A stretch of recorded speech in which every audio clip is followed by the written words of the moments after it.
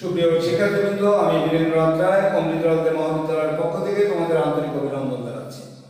আজকে তোমাদেরকে আমি যে অংশটি পড়াবো, সেটি হলো উচ্চ মাধ্যমিকের আমাদের দ্বিতীয় অধ্যায়ের টপোলজি সম্পর্কে আমি পড়াবো। এই টপোলজি পড়াতে গিয়ে তোমাদের যে অংশটা আমি পড়াবো, সেটি হচ্ছে মূলত স্টার টপোলজি ও tree topology star star topology ও ট্রি টপোলজি এই দুটো টপোলজি এখন তোমাদের নিয়ে আলোচনা স্টার টপোলজি ও ট্রি টপোলজি। তো স্টার ও ট্রি টপোলজি মূলত কি জিনিস সেটা একটু দেখে রাখো সেটা হলো স্টার টপোলজিটা কি? যে স্টার টপোলজি হচ্ছে এমন টপোলজি যে টপোলজিতে একটি হাব বা একটি সুইচ থাকবে। স্টার টপোলজি হচ্ছে এমন এক ধরনের টপোলজি যে টপোলজির মধ্যে একটা হাব বা সুইচ থাকবে। হাব জিনিসটা কি? যে আমি একটি ক্লাসে তোমাদের পড়িয়েছিলাম, হাব জিনিসটা কি? হাবের মধ্যে অনেকগুলো পোর্ট থাকে। ওই পোর্টে যখন কেউ একটা মেসেজ পাঠায়, তো ওই হাবের সাথে যতগুলো কম্পিউটার আছে, সব কম্পিউটারগুলো সেই তথ্য সম্পর্কে অভিহিত হয়ে যায়। ফলে দেখা যায় যে আমাদের যে গোপনীয়তা আর বজায় থাকে না। কিন্তু আমাদের এই হাবের চেয়েও এখন আমরা ব্যবহার করতে, করে থাকি মানে ইন্টেলিজেন্স হাব যেটা সুইচ। আমরা সুইচ ব্যবহার করে থাকি হাবের পরিবর্তে। তাইলে আমরা কি হচ্ছে যে আমাদের এই স্টার টপোলজি এটি মূলত করাচ্ছি। স্টার টপোলজিতে আমাদের একটা সুইচ থাকে। এই সুইচের সাথে বিভিন্ন কম্পিউটার আমাদের সংযুক্ত থাকে। ওই সুইচের মধ্যে অনেকগুলো আমাদের পোর্ট থাকে। ওই পোর্টের সাথে বিভিন্ন কম্পিউটার মূলত যুক্ত থাকে। তাহলে এইটা মনে করো তোমার হচ্ছে একটা সুইচ। এটি যদি তোমাদের, আমার যদি সুইচ হয়, তাহলে এই সুইচের সাথে আমাদের অনেকগুলো কম্পিউটার এভাবে আমাদের যুক্ত আছে। দেখো এই কম্পিউটারগুলো এরা প্রত্যেকে এই সুইচের সাথে সংযুক্ত আছে। তো এই সুইচের সাথে সংযুক্ত থাকলে এই কম্পিউটার এই কম্পিউটার এভাবে কম্পিউটার। তো এখন দেখো এই কম্পিউটারগুলো যে যুক্ত আছে একটা সুইচের সাথে তো এখানে এখানে যে সমস্যাটা হলো যে আমি যে কোনো একটা এই এই এইটা এক নম্বর কম্পিউটার এটা দুই নম্বর এটা তিন নম্বর এটা চার নম্বর। আমি এক নম্বর কম্পিউটার থেকে কোনো একটা মেসেজ আম, প্রেরণ করেছি। এই মেসেজটা যখন আমি প্রেরণ করেছি, সেটি কিন্তু সরাসরি দুই নম্বর কম্পিউটারের কাছে আর আসতে পারবে না। এই মেসেজটি এক নম্বর কম্পিউটার থেকে যে মেসেজটি আমি প্রেরণ করেছি, সেটি মূলত চলে যাবে সুইচের মধ্যে। এই সুইচের মধ্যে যাওয়ার পরে সুইচের যে ক্যারেক্টার কি, সুইচের ক্যারেক্টার হচ্ছে যে কোনো একটা মেসেজ যার উদ্দেশ্যে প্রেরণ করা হয়েছে, সুইচ কেবলমাত্র তাকেই দেবে, অন্য কাউকে কিন্তু দিতে পারবে না। সে কারণে এক নং কম্পিউটার তুমি যদি তিন নং কম্পিউটার এর কাছে তুমি মেসেজটি পাঠিয়ে থাকো তাহলে এক নং কম্পিউটার সুইচের কাছে বলবে যে, আমি ভাই তিন নং কম্পিউটারের জন্য একটি মেসেজ পাঠিয়েছি। তুমি তিন নং কম্পিউটারের কাছে ওই মেসেজটি পাঠিয়ে দাও। হ্যাঁ সে তুমি সুইচকে আমরা বলেছি ইন্টেলিজেন্ট ডিভাইস ইন্টেলিজেন্ট ডিভাইস এই জন্য বলেছি যে, সে আমার কথা শুনবে। এক নং কম্পিউটার থেকে মেসেজ তিন নং কম্পিউটারে দেওয়া হয়েছে। তখন সুইচ ইন্টেলিজেন্ট বলা হয়েছে, বুদ্ধিমান বলা হয়েছে এই কারণে যে, সে কোনো আজে বাজে কথা চিন্তা না করে সে মেসেজটি তুলে দিল তিন নং কম্পিউটারের হাতে। ফলে তিন কম্পিউটার ওই মেসেজ পেয়ে সে তার কার্য সম্পন্ন করে করতে পেরেছে। তো এই স্টার টপোলজির সুবিধা হলো যে স্টার টপোলজিতে এক কম্পিউটার যদি মরেও যায়, অর্থাৎ নষ্ট হয়ে যায়, তাহলে কিন্তু এর কার্যকারিতা ব্যাহত হবে না। এর কার্যকারিতা আর যে তিনজন আছে, এরা ওই সুইচের মাধ্যমে তাদের কার্যকারিতা অব্যাহত রাখতে পারবে। কিন্তু মূল জিনিস হলো, যদি হাফ আমাদের নষ্ট হয়ে যায়, এই সুইচ যদি আমাদের নষ্ট হয়ে যায় তাহলে কিন্তু টোটাল নেটওয়ার্ক আমাদের ভেঙে পড়বে। সুতরাং আমাদের এই সুইচের সাথে সংযুক্ত থাকায় আমরা দেখা গেছে এখান থেকে আমরা ইন্টারনেট থেকে আমরা বিভিন্ন তথ্য এই স্টার টপোলজির ক্ষেত্রে আমরা এখান থেকে আমরা পেতে পারব। কারণ যেহেতু এই সুইচের সাথে আমরা বিভিন্ন কানেকশন আরও বিভিন্ন জায়গায় আমরা সার্ভারের সাথে তাকে সংযোগ দিতে পারব।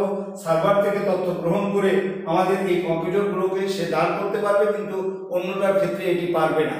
যে কারণে আমরা সাধারণত এই স্টার আহ, ছোটখাটোর মধ্যে একটি ভালো টপোলজি হিসাবে একে- আখ্যায়িত করতে পারি।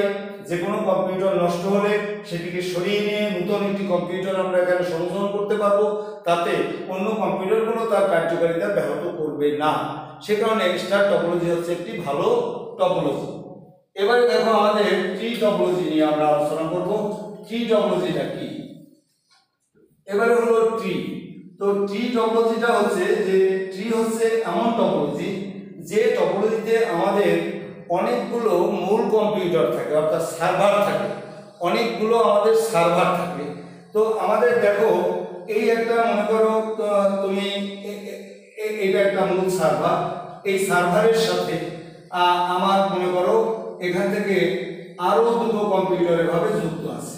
এটাও একটা সার্ভার এটাও একটা সার্ভার আবার এই সার্ভারের সাথে আবার জেনারেল কতগুলো কম্পিউটার এভাবে যুক্ত আছে? এগুলো জেনারেলি কম্পিউটার এই, এগুলো জেনারেলি মনে করো কম্পিউটার এটাও কম্পিউটার আবার এগুলোকে আমরা সুইচও বলতে পারি। এগুলো কম্পিউটার এগুলো আমাদের কম্পিউটার এটাকে আমরা একটা সার্ভার হিসেবে আখ্যায়িত করতে পারব। সার্ভার, এটাও আমরা সার্ভার, এটা হলো মূল সার্ভার। এই সার্ভার এগুলোকে আমরা সার্ভার না বলে সুইচ হিসাবেও আমরা আখ্যায়িত করতে পারব।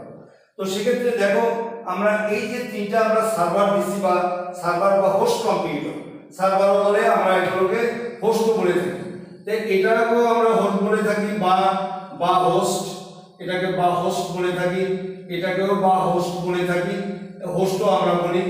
এই বিভিন্ন নামে এদেরকে আখ্যায়িত করা যায়। তাইলে দেখো, এই যে হোস্টটা বা এই যে সার্ভারটা এটাকে বলে প্রথম স্তরের কম্পিউটার এটাকে বলে প্রথম স্তরের কম্পিউটার স্তরের স্তরের কম্পিউটার আর এই যে দুটো সার্ভার এই দুটোকে আমরা বলে থাকি দ্বিতীয় স্তরের কম্পিউটার আর এইটাকে বলে থাকি আমাদের তৃতীয় স্তরের কম্পিউটার তো স্টার টপোলজিতে দেখো কম্পিউটারগুলো একের পর এক আমাদের সুন্দরভাবে সজ্জিত করা আছে। এই ধরনের টপোলজি সাধারণত ব্যাংক বিভিন্ন শিল্প কারখানা, আমরা এই ধরনের টপোলজি ব্যবহার করে থাকি। এই টপোলজি টপোলজিগুলোর ক্ষেত্রে সুবিধা হলো যে কোনো একটা কম্পিউটার যদি আমাদের নষ্ট হয়ে যায়, তাতে কিন্তু যদি এই সার্ভার যদি নষ্ট না হয়, তাহলে দেখা যায় যে অন্য কম্পিউটারগুলো তার কার্যকারিতা অব্যাহত রাখে। তো এখানে যে যে মূল জিনিসটা হলো যে, আমাদের কখনো এই যে তৃতীয় স্তরের যে কম্পিউটারগুলো আছে, এই তৃতীয় স্তরের কম্পিউটার যদি ইন কেস সে চায় যে আমি প্রথম স্তরের সার্ভারটার কাছে আমি একটা মেসেজ প্রেরণ করব যে আমার অমুক জিনিসটা আমাকে ডাউনলোড করতে হবে। তো সেক্ষেত্রে তুমি কখনোই এইখানে বসে এই স্তরের কম্পিউটার থেকে সরাসরি তুমি প্রথম স্তরের কম্পিউটারের কাছে যেতে পারবে না। তো সেক্ষেত্রে এই স্তরের কম্পিউটারকে প্রথম ইনফরমেশন করতে হবে দ্বিতীয় স্তরের কম্পিউটারকে ওই দ্বিতীয় স্তরের কম্পিউটার সে বলবে প্রথম স্তরের কাছে যে আমার ব্যবহারকারী আমার কাছে এই সফটওয়্যারটি চেয়েছে বা এই ইনফরমেশনটি চেয়েছে, তুমি আমাকে এই এই ইনফরমেশনটা তুমি আমাকে দাও। তখন ওর কাছ থেকে এই সার্ভার নিয়ে আসবে, তারপর ওকে দান করবে। তাহলে আমরা এখানে কি শিখলাম? যে তৃতীয় স্তরের কম্পিউটার কোনো মতেই প্রথম স্তরের কম্পিউটারের সাথে সরাসরি যোগাযোগ রক্ষা করতে পারবে না। তৃতীয় স্তরকে প্রথম স্তরের সাথে যোগাযোগ রক্ষা করতে হলে অবশ্যই দ্বিতীয় স্তরের কম্পিউটারের সাথে তাকে সমঝোতা করতে হবে। দ্বিতীয় স্তরের কম্পিউটার ওই তৃতীয় স্তরের কম্পিউটারকে প্রথম স্তরের কাছ থেকে এনে তার কার্য সম্পন্ন করে দেবে। আর এই সংগঠনটাকে ত্রি সংগঠন এভাবে কিন্তু এইভাবে আমাদের এরকম যদি আরও কম্পিউটার আমাদের এখানে যুক্ত থাকে, তাহলে এটা হবে চতুর্থ স্তরের কম্পিউটার। চতুর্থ স্তরের কম্পিউটার ওইভাবে স্টেপ বাই স্টেপ কাউকে ব্রেক করে কেউ কিন্তু যেতে পারবে না। যে এখানে একটি মানে ইয়া করতে হবে রেসপেক্ট করতে হবে কখনোই কেউ। কাউকে ওভারকাম করে কেউ চলে যেতে পারবে না। কারও প্রয়োজন হলে তারা সে দ্বিতীয় স্তরে যারা আছে তাদের কাছে না জানিয়ে তৃতীয় স্তরের কাছে যেতে পারবে না। এভাবে তৃতীয় স্তরও, এই প্রথম স্তরও কখনোই, এই তৃতীয় স্তর থেকে কখনোই তথ্যকে সরাসরি নিতে পারবে না। যে প্রথম স্তরের যদি কোনো তথ্য এইখানে আমাদের প্রয়োজন হয়, তাহলে সে কিন্তু এদেরকে বলে এখানে আমাদের আসতে হবে। তো এখন দেখো এটাকে ট্রি সংগঠন বা ট্রি টপোলজি কেন বলা হয়? একটা গাছকে মাটির থেকে তুলে, তুমি যদি সেই গাছটাকে আমাদের গাছ থেকে তুলে আনলাম, এটাকে তুমি এভাবে নিচের দিকে নিচের দিকে করে তোলো, তাহলে মূল অংশটা উপরে চলে যাবে। এই হচ্ছে তার মূল অংশ। এবারে ওখান থেকে যে ডাল বেরিয়েছে এই ডাল হলো কিন্তু সাব সার্ভার। এই সাব সার্ভার হলো তার ডাল। মোটা দুটো ডাল বেরিয়েছে ওই ডাল থেকে আবার ছোট ছোট ডাল, এই শাখা প্রশাখা, এই সমস্ত আমাদের বেরিয়ে গেছে। তো এই রকম একটা গাছের ডালপালা যদি এভাবে সরিয়ে থাকে, সেটার সাথে এই টপোলজিকে তুলনা করা হয়েছে। মূলত এই টপোলজিকে ওই স্টার টপোলজির সম্প্রসারিত রূপ আমরা বলতে পারি। যেমন দেখো, এখানে কয়টা স্টার আছে? এইটিকে কিন্তু আমরা একটা স্টার টপোলজি বলতে পারি। এটাকে একটা স্টার টপোলজি বলতে পারি। এটাকে একটা স্টার টপোলজি বলতে পারি।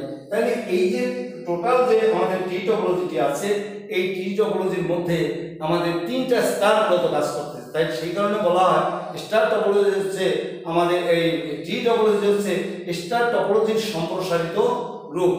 এখান থেকে যে যে কোনো কম্পিউটার যদি আমাদের নষ্ট হয়ে যায়, তাতে কার্যকারিতা কিন্তু ব্যাহত হয় না। কিন্তু এর সার্ভার যদি নষ্ট হয়ে যায় ইনকেস এই সার্ভারটা আউট হয়ে গেল, তাহলে দেখা যাবে যে এই অংশের আমাদের কার্যকারিতা ব্যাহত হবে, অন্য অংশ তাদের কার্যকারিতা অব্যাহত রাখতে পারবে। সুতরাং সবাই এই প্রশ্নগুলো সুন্দর করে পড়বা, যেহেতু সৃজনশীল প্রশ্নের জন্য এগুলো উপযোগী প্রশ্ন। সকলকে অনেক ধন্যবাদ। সবাই সুস্থ থাকো, ভালো থাকো। আমার ভিডিও ভালো লাগলে এটাকে লাইক এবং সাবস্ক্রাইব করবে। অনেক অনেক তোমাদের ধন্যবাদ।